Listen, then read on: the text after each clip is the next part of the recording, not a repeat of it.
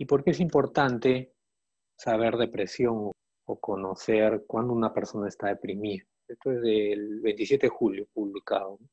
De ese número, mira, ansiedad y depresión son frecuentes.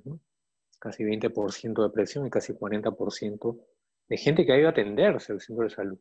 No sabemos si fue por un problema físico o solo por la ansiedad y la depresión que le ha, ha generado este tema de la pandemia, porque hay muchas cosas que ha cambiado la pandemia, no solo el estudio, por el punto de vista de ustedes, sino el trabajo.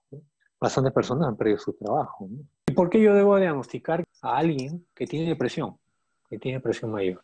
Así como los pacientes están muriendo de COVID, así como los pacientes antes se morían más por infartos al corazón, la depresión también puede producir muerte, pero en este caso producido por el mismo paciente, por un suicidio.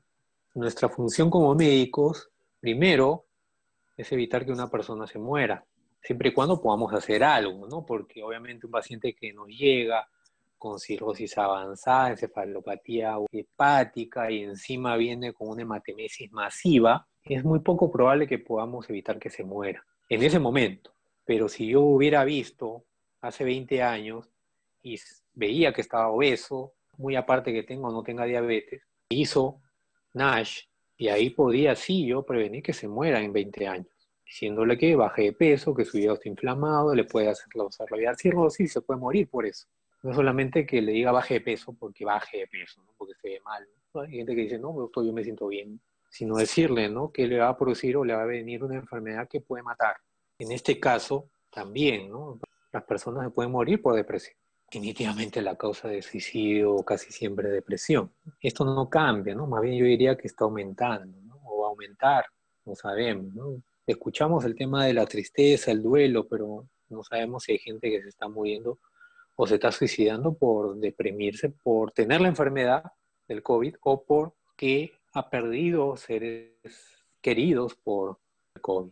Entonces, nosotros debemos de diagnosticar depresión para evitar esto, evitar que el paciente se mate, se suicide. Entonces, otra estadística, el 23% han deseado morir. Ese es otro tema, ¿no? ¿Por qué se suicidan las personas? ¿no? Porque o se sienten mal, tan mal, que no le encuentran sentido a la vida o creen que eso le va a solucionar el problema. O le va a solucionar el problema a otras personas, para ellos. Y en realidad no es así. En realidad es un escape, pero un escape porque dio todo lo que pudo dar y no pudo lograrlo en salir de la depresión. Porque solo no vas a poder salir de la depresión. Necesitas ayuda.